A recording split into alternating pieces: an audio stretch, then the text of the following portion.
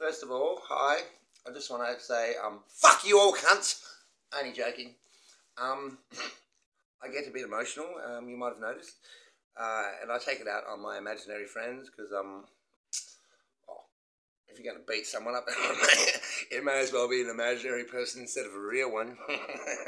hi, I'm going to court next week for um deadly assault on an imaginary friend. Okay. I'd like to see that.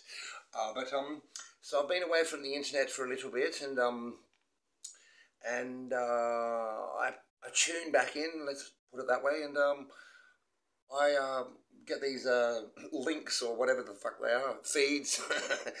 uh, and some countries uh, worried about what color Jesus was two thousand fucking years ago. Listen, cunt.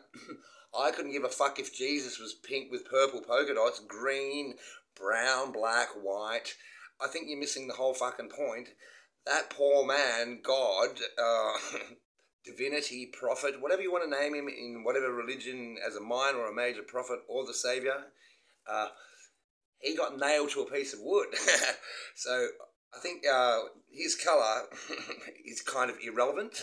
But um, if you need um, a little fucking teddy bear that um I don't know that helps with your self identity. That hey, maybe he was black, maybe he was fucking green. Uh, you're missing the point.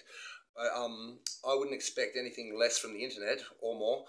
Uh, also, I I see the same channels attacking the same minorities for a dollar, mind you, because um these people don't do attack people for free on the internet. Um, they're, they're set in their ways, whether they're left wing or right fucking wing, these people are, fuck, are all fucked in the head.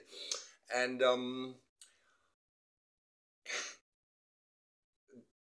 let's get one thing straight. If you live in the Western world, uh, democracy does not fucking exist.